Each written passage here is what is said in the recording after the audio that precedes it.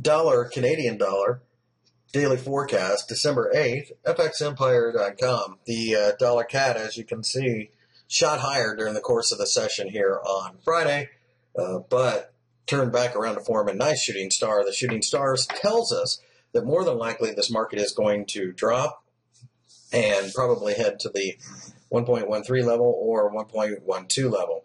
Uh, if we break above the top of the uh, 1.15 level, though, we feel that the market can be bought then as well.